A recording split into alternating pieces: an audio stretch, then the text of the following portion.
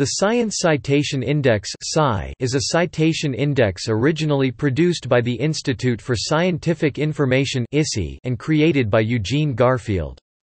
It was officially launched in 1964. It is now owned by Clarivate Analytics previously the intellectual property and science business of Thomson Reuters. The larger version Science Citation Index Expanded covers more than 8,500 notable and significant journals, across 150 disciplines, from 1900 to the present.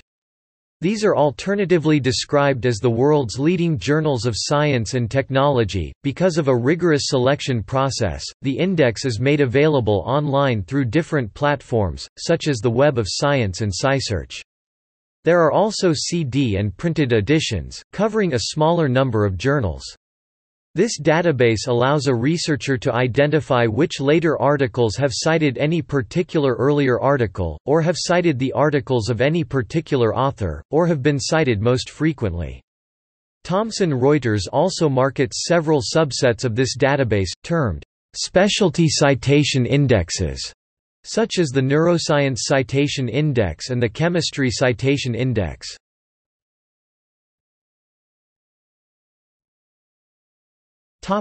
Chemistry Citation Index The Chemistry Citation Index was first introduced by Eugene Garfield, a chemist by training. His original search examples were based on his experience as a chemist. In 1992 an electronic and print form of the index was derived from a core of 330 chemistry journals, within which all areas were covered. Additional information was provided from articles selected from 4,000 other journals.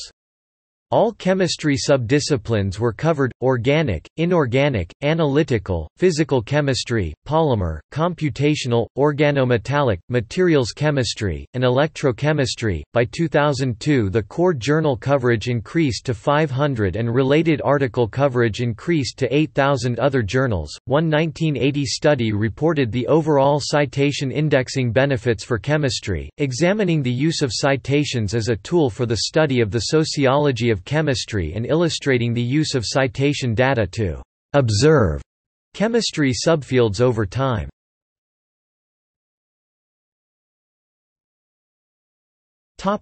See also